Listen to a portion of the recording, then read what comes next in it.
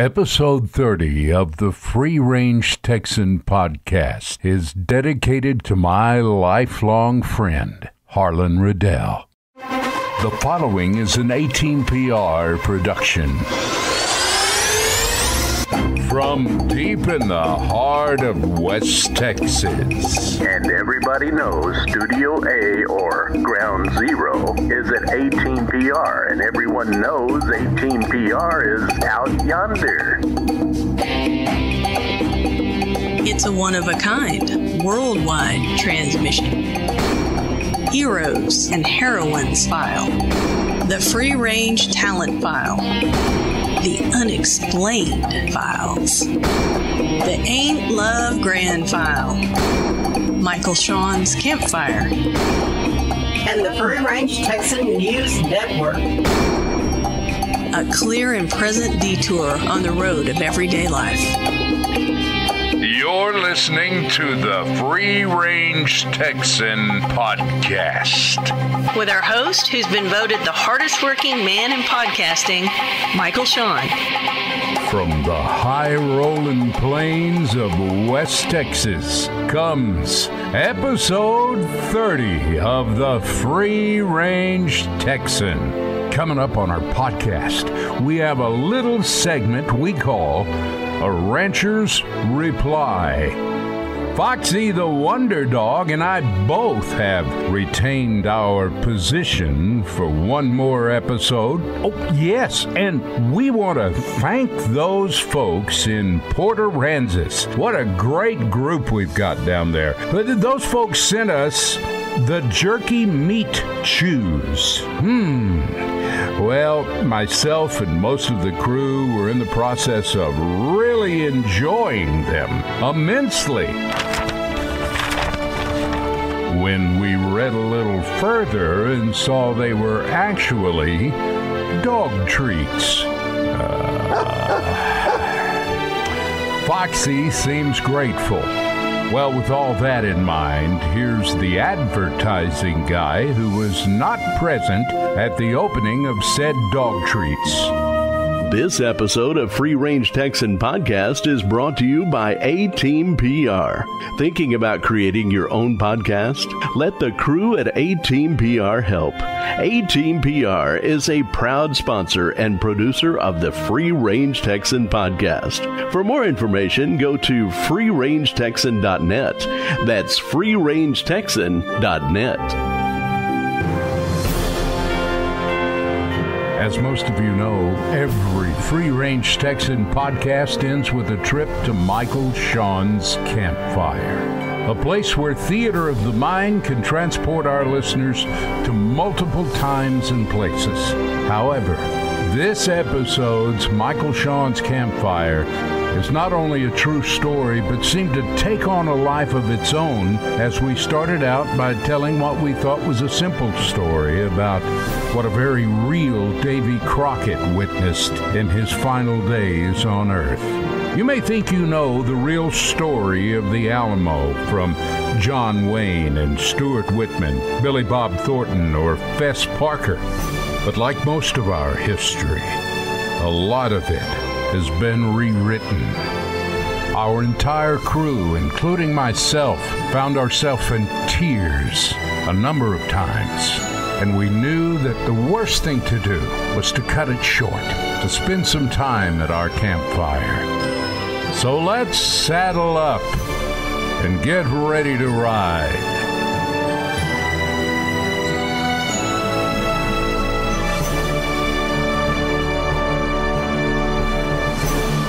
Digital microphone will travel. Blankets! Ho! Get 'em up! Move out! You're listening to the Free Range Texan Podcast.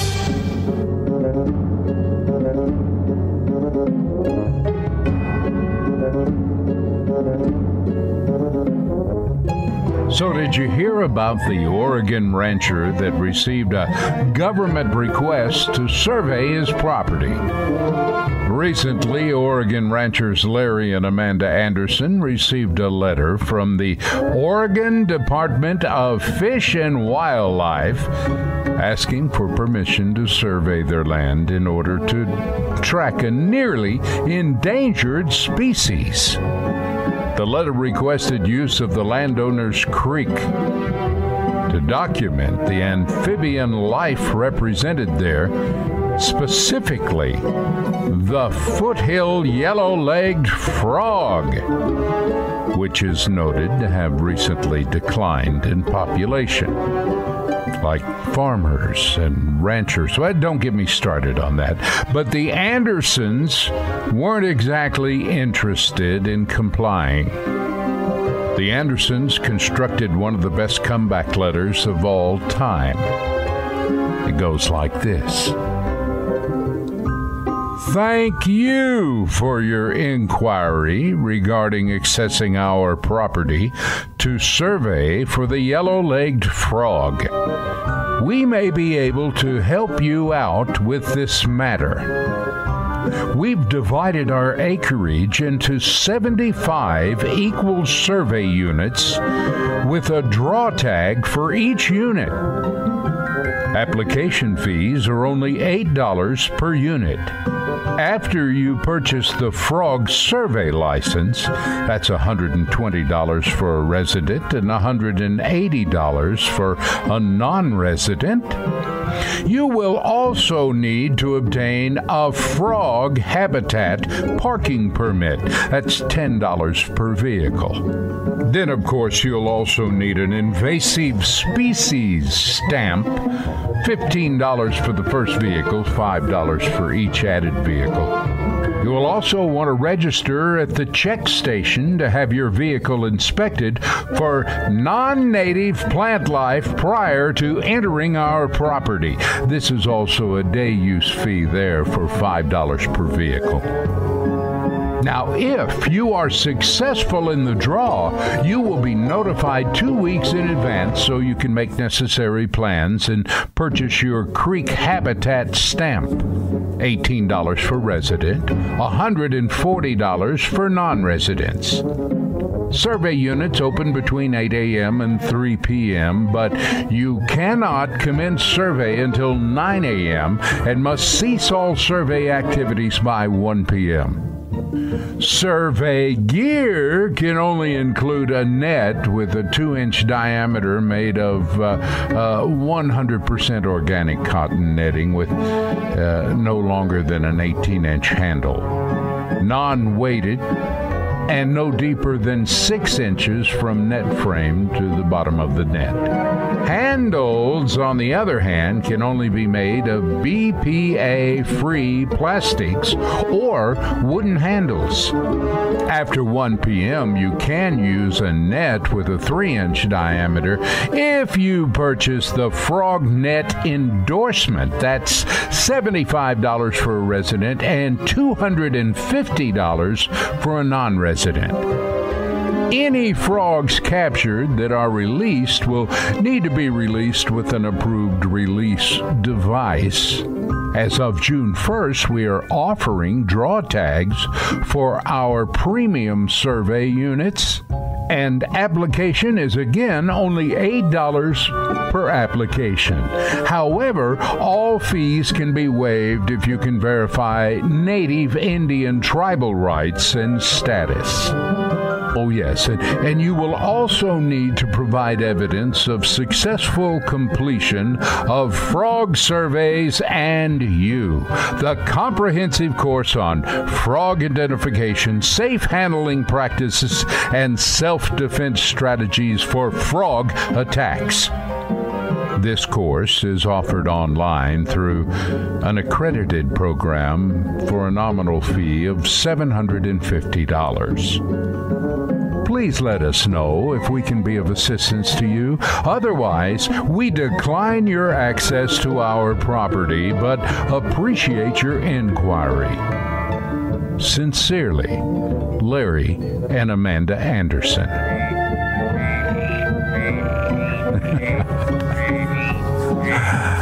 oh.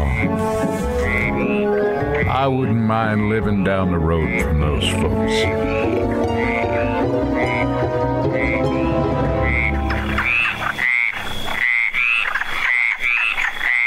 Started as just a dream, from which grew a vision. All of us knew from the beginning that this whole concept would follow a path unlike any other podcast. We assembled a team and began production, and what has grown out of these humble beginnings is a totally unique podcast. Theater of the Mind lives. Part truth, part tall tales. Just take a look at what's happened now. Visit our website at freerangetexan.net. Come along, right out yonder on the Free Range Texan Podcast.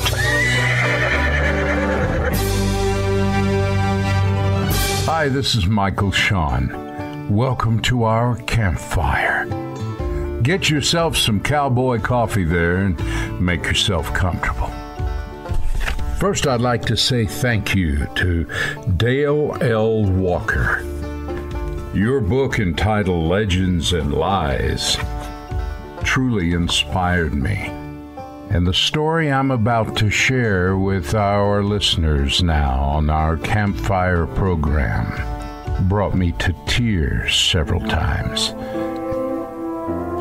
Well, first, I'd like to point out that one of the most indelible and enduring images of Western American history was portrayed on television back February 23rd, 1955.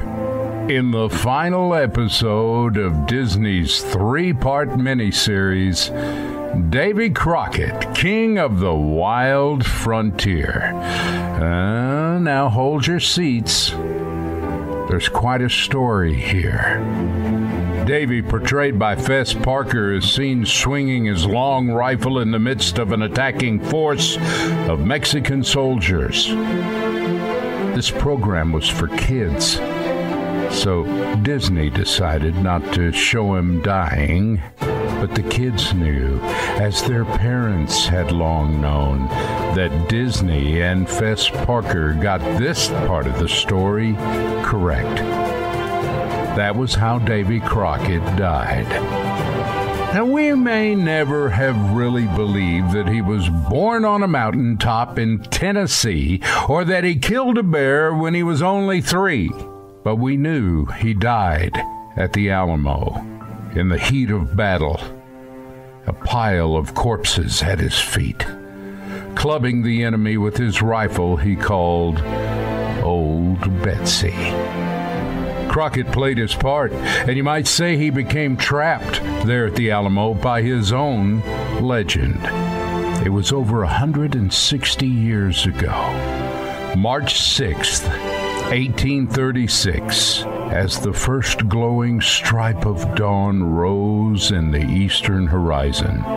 There was a bugle call. And then no less than 2,000 Mexican foot soldiers, cavalry, and artillerymen formed up in four columns and marched through the grass, their breath visible in the sunrise chill, the morning sunlight glinting off the hedgerow of bayonets. Each man was armed with a British made musket, spare flints, and cartridge packs. Some carried nine foot lances, others had sabers, pistols, picks, pikes, pry bars, axes, and scaling ladders. For 13 days, Santa Anna's artillery had pounded the Alamo, and during the siege, sharpshooters from the Alamo had succeeded in picking off 30 of the cannoneers. The night before, Santa Anna had silenced his guns, hoping to lull the weary sentries into napping at their posts. The dictator of Mexico, self styled Napoleon of the West, gambler, ruthless, but charismatic politician, Santa Anna had come a long way to do battle. He had crossed the river February 16th with over 2,000 men, 21 cannons, 1,800 pack mules, 33 four wheeled wagons, and 200 ammunition carts. His first act had been to raise a blood red flag from a church steeple, a warning to Alamo defenders that there would be no prisoners. East of the town came a quick response. Cannon shot from the Alamo's biggest gun, and the battle had begun.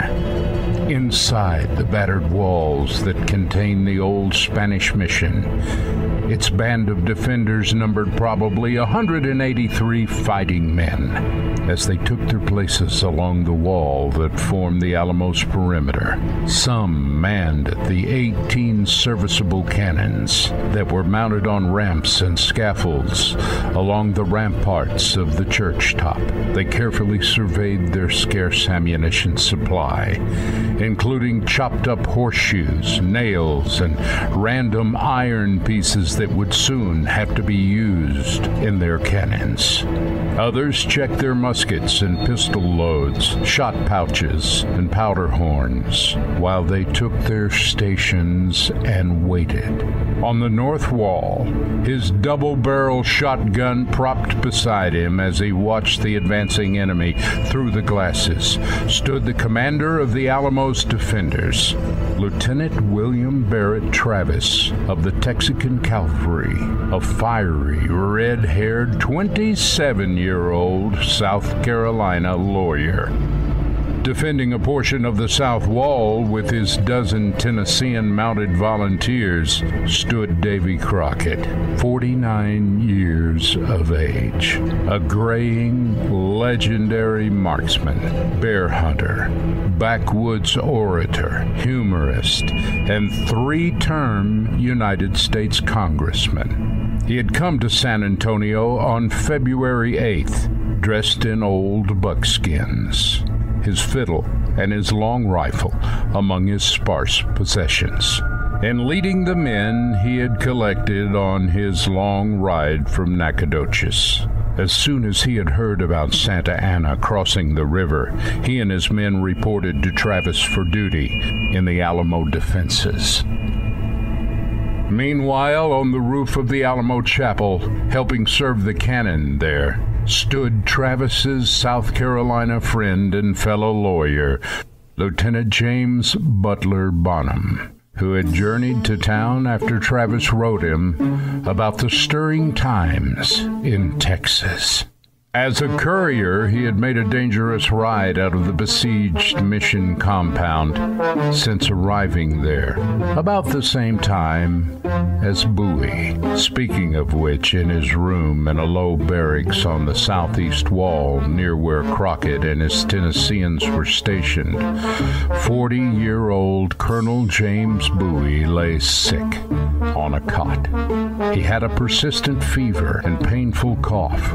Perhaps pneumonia, perhaps tuberculosis. A Kentuckian, Bowie had a spotty history at best. He sold contraband in Louisiana and worthless land titles in Arkansas. He had drifted to Texas in 1828, where he married into a prominent family in San Antonio.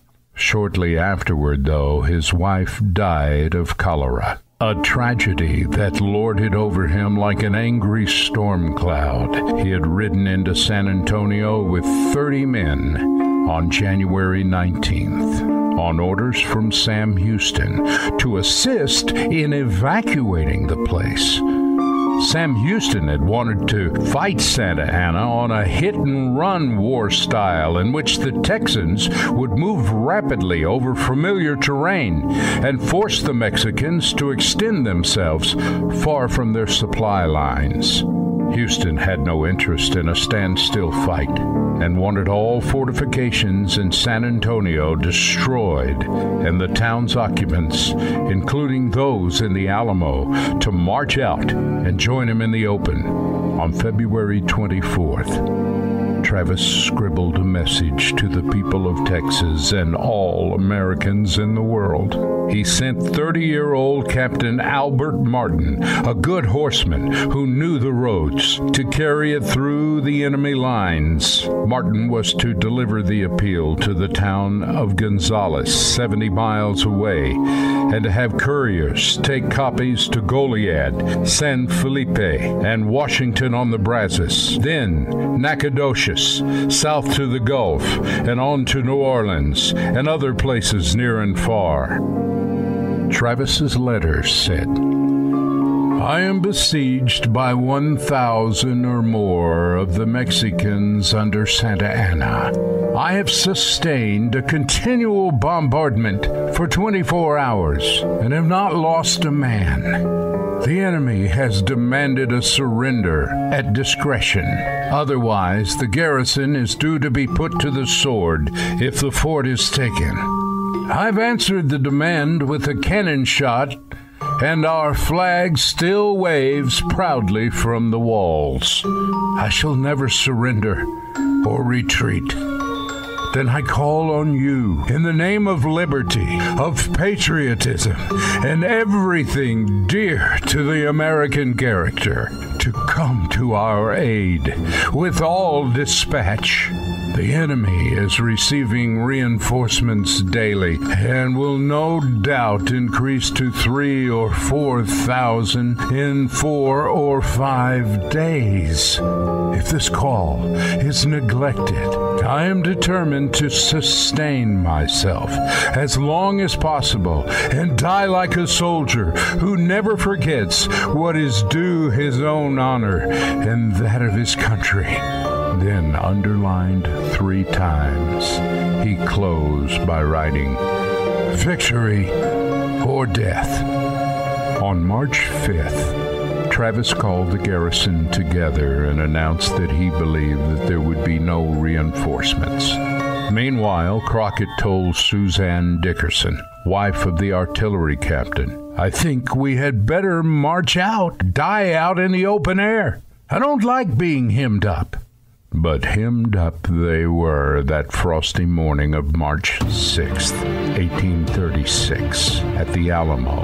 About 183 fighting men facing at least 10 times their number of advancing enemy.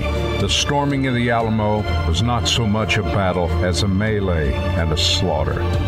The Mexican columns struck the four walls more or less simultaneously.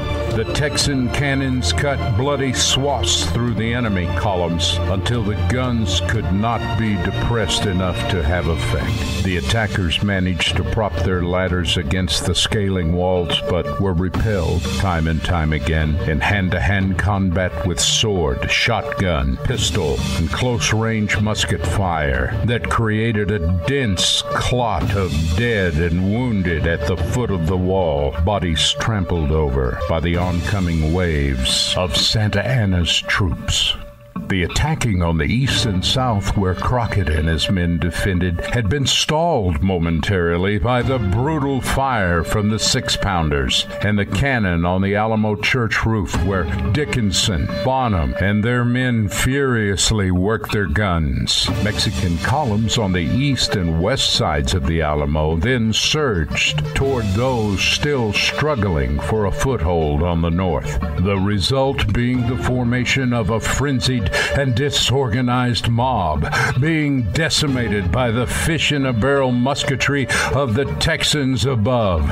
Santa Anna, observing the battle from the northeast of the fortress, now called his reserves, the elite grenadiers. These 400 men rushed forward as Mexican bandsmen struck out the eerie Spanish march known as Degüello, signifying there would be no quarter. The Alamo's Achilles heel, an ill prepared weakness in the eastern sector of the North Wall, was now found and exploited as the Mexicans made their way into the Alamo's central compound. At about the same time, on the west, the thinning ranks of the Texans could no longer fend off the enemy pouring over the wall. On the southwest corner. The great 18 pounder emplacement was captured and turned against the cannon on the church roof, killing Dickinson, Bonham, and their gunners. Crockett and his Tennesseans were caught in the open and in front of the church and hospital, and all, or nearly all, killed. As the Mexicans captured the church, Robert Evans, the Alamo's big good humor, Irish born master ordnance officer, though wounded, grabbed a torch and made his way to blow up the powder magazine on the north side of the building.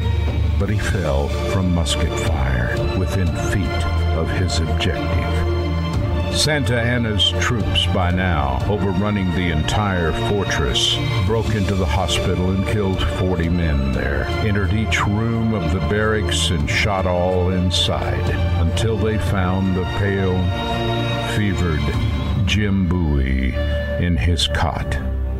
As Bowie rose to defend himself with two loaded pistols that had been given him by Davy Crockett, he was bayoneted to death. His sister in law, who was one of the Alamo's survivors, said the Mexican soldiers tossed his body on their bayonets until their uniforms were soaked with his blood.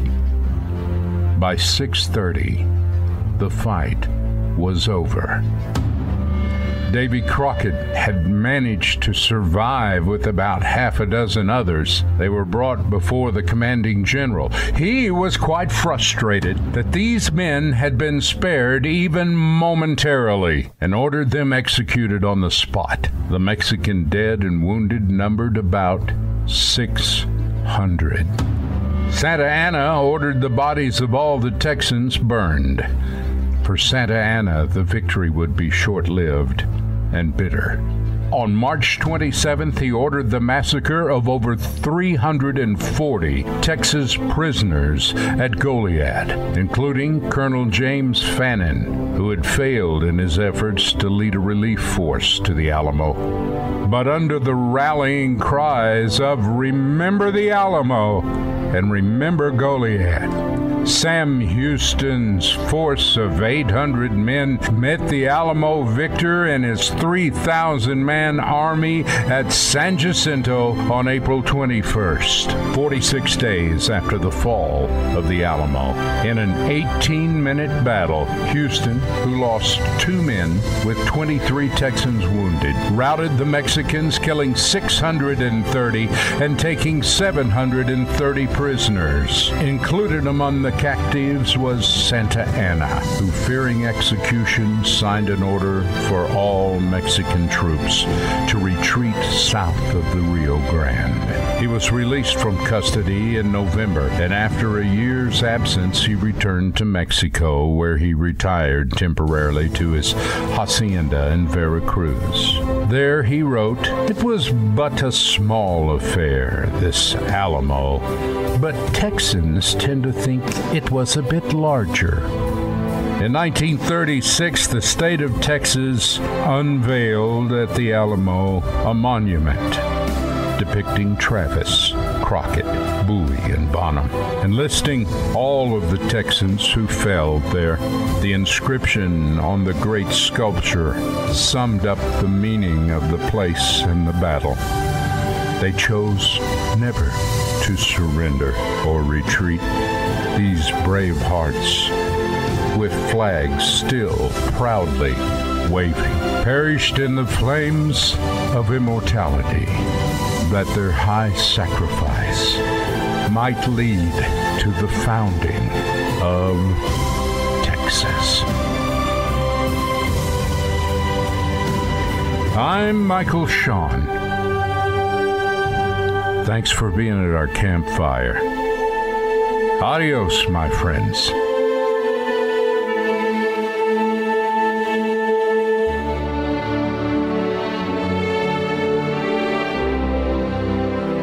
And with just a last bit of business we should cover here on this edition of the Free Range Texan. Uh, apparently, on a Free Range Texan House of Treasures music department rebuild, somehow Medulla's music didn't get put back in. We have fixed that.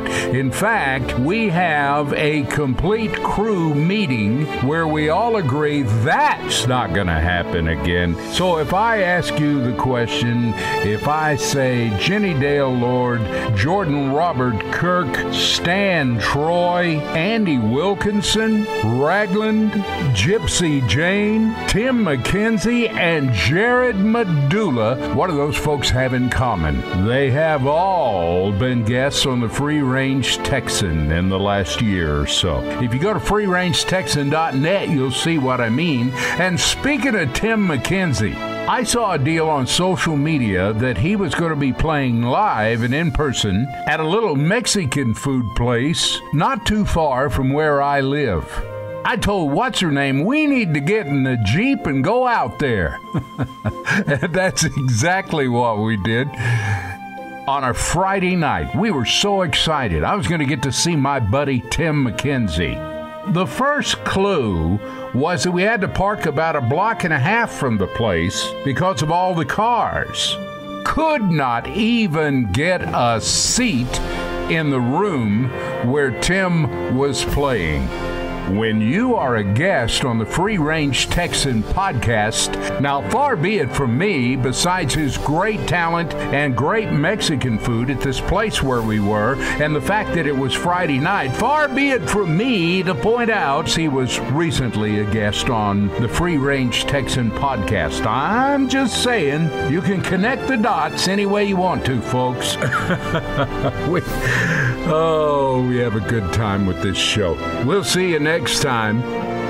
Take 'em home, sweetie pie. Thank y'all for listening to the Free Range Texan podcast, produced at A Team PR Studios out yonder in West Texas, with our host who's been voted the hardest working man in podcasting, Michael Shawn.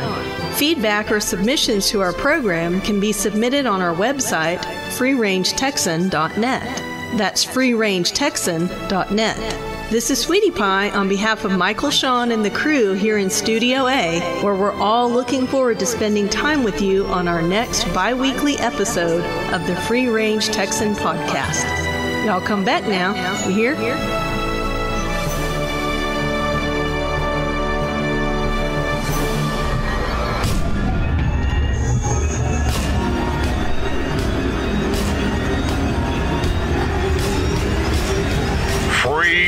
Free Range Texan Podcast. End transmission.